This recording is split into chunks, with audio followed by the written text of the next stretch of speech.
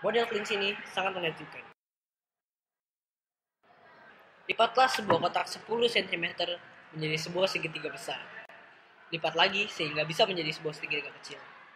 Lipatan tersebut akan menjadi huruf V. Gambar sebuah garis melengkung yang panjang untuk kuping kelinci tersebut. Garis yang putus-putus adalah yang akan dilipat.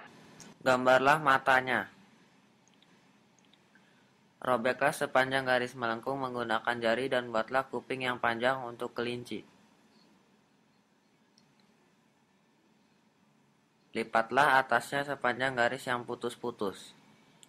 Lipatlah bagian belakang untuk membuat kaki kelinci. Peganglah kaki depannya di bawah garis lipat. Sekarang gerakan buntutnya ke depan dan ke belakang.